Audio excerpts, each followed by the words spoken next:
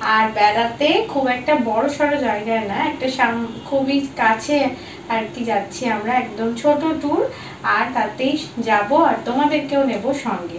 Luggage, bedding পত্র সব কিছু হয়ে গেছে, আমি মোটামুটি রেডি হয়েছি, এখনও পুরোটা হয়নি। আর সেই মুহূর্তেই শুরু করে দিয়েছি আমার শ্যুট তো চলো আমার সঙ্গে থাকো। আমরা এখন রেডি এখন আমরা বেরোবো, তোমাদের দেখাই আমাদের লাগে তোমাদের একটা কথা বলি আমরা কিন্তু তিনজন এবারে যাচ্ছি না আমরা যাচ্ছি আরো কয়েকজন মানে আমার বন্ধুরাও যাচ্ছে আর সবাইকে নিয়ে থাকবে এবারে জবরদস্ত মাস্তি আর ব্লগ यूं ही कट जाएगा सफर साथ चलने से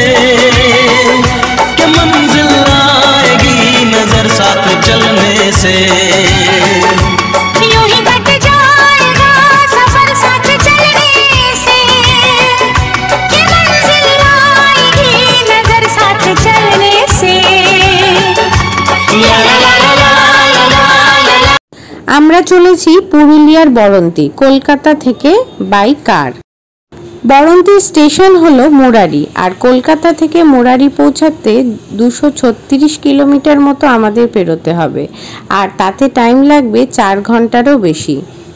যদি ট্রেনে যাওয়া হয়, সেক্ষেত্রে হাওড়া জংশন থেকে আসানসোল পৌঁছাতে হবে দু ঘণ্টা পঁয়ত্রিশ মিনিট মতো, যেখানে টাইম লাগবে। আর তারপর ওখান থেকে পৌঁছাতে হবে মোরারি ট্রেনে। মোরারি স্টেশন থেকে যেতে হবে বরন্তি। আমরা যেহেতু গেছি বাই কারে মানে যাচ্ছি, সেইখানে বলব কলকাতা থেকে প্রথমে আমরা গেছি বর্ধমান।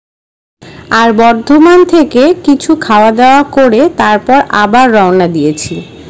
যদি সকালবেলায় বেরোনোর হয় তাহলে কিন্তু অবশ্যই বর্ধমানে খুব ভালো ভালো জায়গা আছে খাবার মানে দুপুরের লাঞ্চের তো তোমরা যদি যাও তাহলে বাই কারে অবশ্যই তাহলে বর্ধমানে ভালো ভালো জায়গার ভালো ভালো খাবার উপভোগ করতেই পারো যেটা আমরা করেছি। চলো রাস্তা চলুন আর পপকর্ন খেয়ে ওই যে ওই টনি স্টার্টের কথা বলে না? মাঝে দারুণ মজা দারুণ মজা আর দারুণ মজা। অনেক দিন পর বাড়ি থেকে বেরোনো তাই খুব আনন্দ।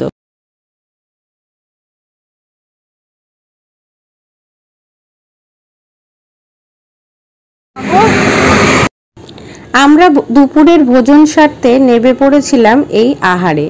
আর আহারে গিয়ে বেশ ভালোই লাগল কারণ সেখানকার খাবার ভালো। আমাদের খিদে পেয়েছে। প্রচণ্ড খিদে পেয়েছে।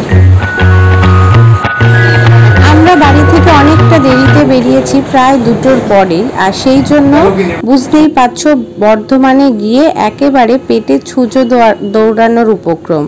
আর সেই জন্য দুপুরের খাবারটা ভীষণভাবে উপভোগ করেছি। আর এখানকার মেনু আর খাবারের স্বাদ দুটোই কিন্তু একেবারে এক্সেলেন্ট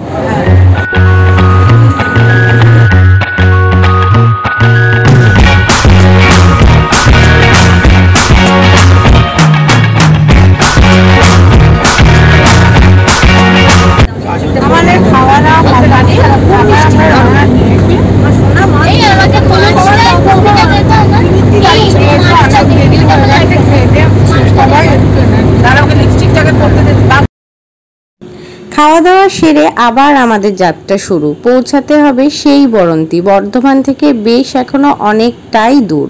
আর যেতে যেতে অনেক কিছু সম্মুখীন হতে হলো আমাদের। রোদ, ঝড়, জল, মেঘ, বৃষ্টি সব কিছু সব কিছুকে সঙ্গে নিয়ে চলেছি তো, চলেছি।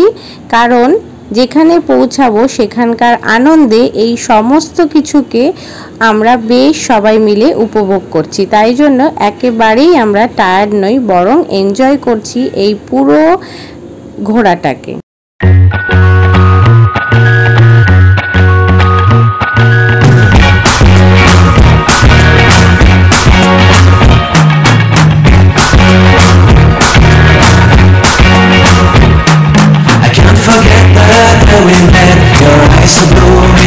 Me piercing I can't forget the day we met Your smile so bright, it made me small Our love is like a summer's day.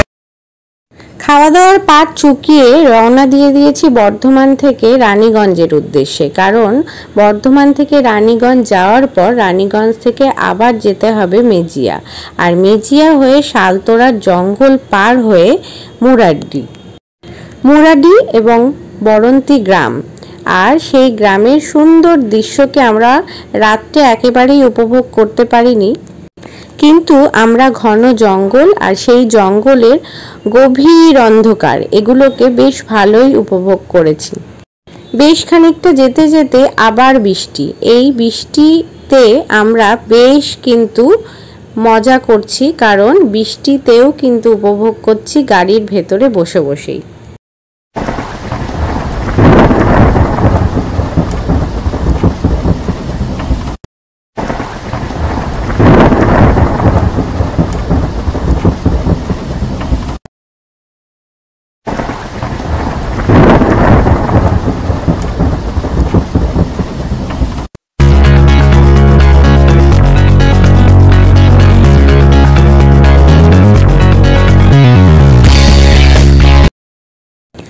প্রত্যেকটা জায়গাকে নতুন লাগছে, সুন্দর লাগছে আর দারুণ লাগছে।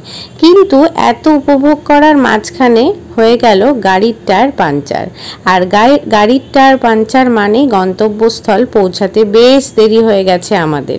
তাই গাড়ি সারাই করে আর তারপর আবার যাত্রা শুরু করতে করতে আমাদের জায়গায় মানে হোটেলে পৌঁছাতে লেগে গেছে বেশ কিছুটা রাত।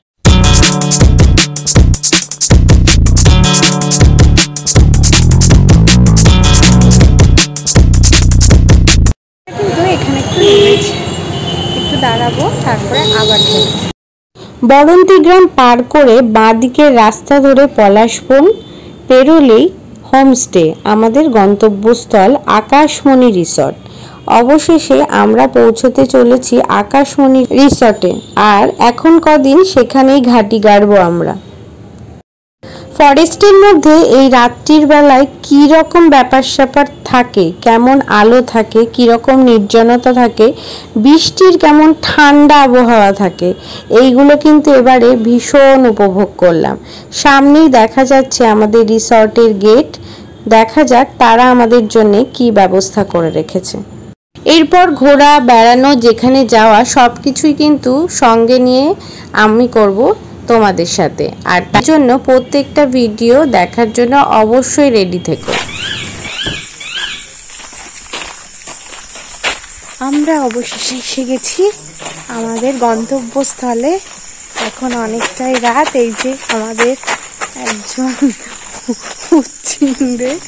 এখন আমরা যাচ্ছি রুমে তারপর আবার আসছি। এবারে ঠিক করে নিচ্ছি প্রত্যেকে কে কোন ঘরে থাকব। আর তারপরই দেখা হবে তোমাদের